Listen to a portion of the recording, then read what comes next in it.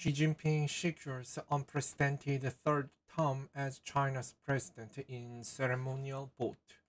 Chinese leader Xi Jinping speaks to foreign journalists at the Great Hall of People in Beijing on October 23, 2022, after securing a third term as leader of Chinese Communist Party. CNN, Xi Jinping's unprecedented third term as China's president was officially rubber stamped by the country's political elite on Friday solidifying his control and making him the longest serving head of state of communist China since its founding in 1949.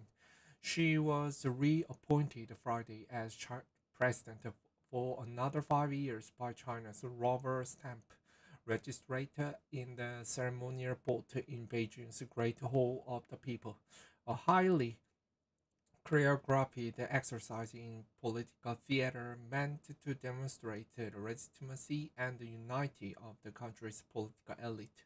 He received an anonymous 2,952 votes, followed by the standing ovation. The reappointment of Xi, China's most powerful and authoritarian leader in decades, was largely seen as a formality after the 69-year-old secured a norm-shattering third term as head of the Chinese Communist Party last fall. In China, the presidency or state chairman in Chinese is a largely ceremonial title. Real power resides, resides in the positions head of the party and the military two key roles that Xi also holds and was reappointed to at a key Communist Party Congress in October. Nonetheless, his appointment as head of state officially completes his transition into a second decade in power, and it comes amid a broader reshuffle of leadership roles in the central government all the state council and other state organizations that further increase increases Xi's already formed grasp on the le levels of power. Li Keqiang, Li Qiang, one of Xi's most trusted prestiges, is expected to be a chosen China's premier on Saturday. Traditionally, the premiership is the influencer, influential role in charge of the economy, although over the past decade its power has been severely eroded by Xi, who has taken almost all decision making into his own hands.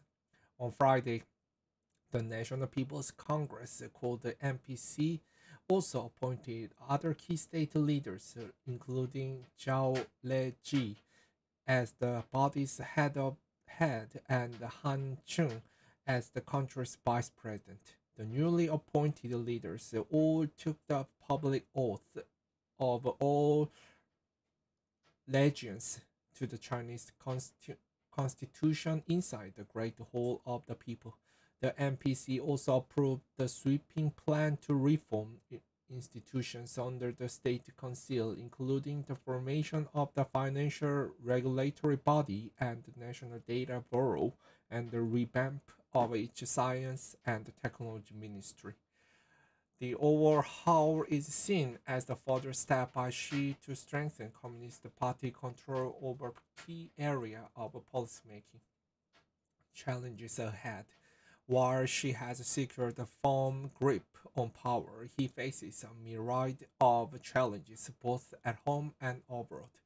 The Chinese economy is struggling to recover from three years of harsh zero COVID restrictions, investor confidence is waning and the demographic crisis is looming as the country registered its first population decline in its six decades.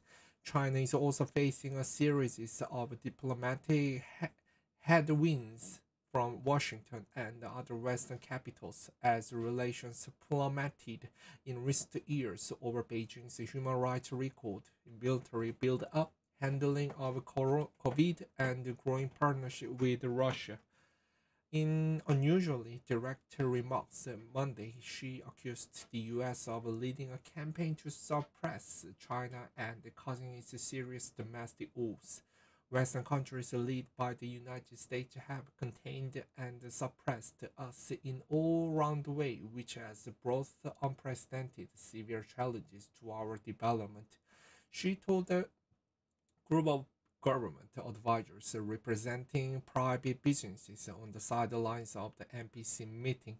Xi has now entered new historical territory. No Chinese leader had held the title of head of the state for more than 10 years, including Communist China's founding father, Chairman Mao Zedong, Liu Shaoqi, who took over as state chairman from Mao in 1959, was sacked in 1968 and persecuted to death a year later during Mao's tumultuous, tumultuous Cultural Revolution. After Mao's death, the parliament leader Deng Xiaoping introduced the presidential term limit in China's constitution in 1982 to avoid the kinds of chaos and catastrophe seen under Mao's lifelong rule. Deng also laid their institutional reforms to bring a greater separation, separation of positions and functions between the party and the state. However, those efforts have been severely undermined by Xi, who greatly expanded the party's hold on power and his own grip over the party. In 2018, China's legislature ab abolished presidential term limits in the ceremonial vote, effectively allowing Xi to rule for life.